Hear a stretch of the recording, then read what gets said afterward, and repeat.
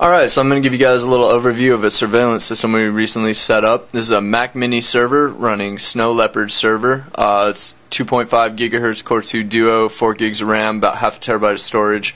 Pretty basic on the hardware, that's all you really need. Uh, we've got an Astak mole camera here. Um, you can see it's just straight network, so you don't have to plug it into anything other than your network. Uh, you've got phones, microphone jack, so you can plug in speakers, listen to what's going on um, just standard power. Uh, this camera is pretty cool. It moves all around, so you can go 360 degrees around.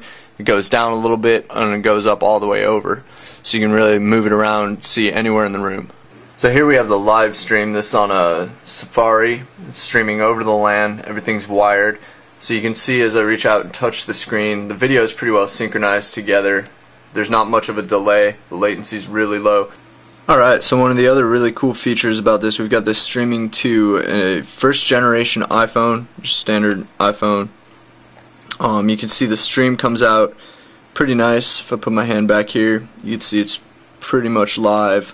Um, if we hold it up next to the actual web streaming, you can see there's not much of a delay on the video from the iPhone.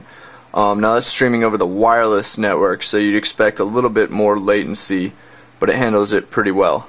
Alright, so in my opinion, the coolest part of this whole project is streaming wirelessly to a cell phone. So you can see right here, I'm actually connected to 3G. This isn't on the wireless network, so this is actually going out to the internet, coming back into my house, hitting the server, and pulling the video live from the camera.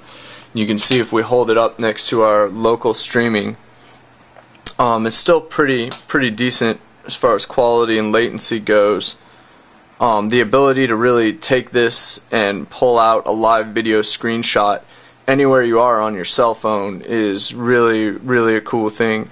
You can be in your car, you can be on the other side of the world. Alright, well thanks for watching. Be sure to check out some of our other projects on hackedexistence.com.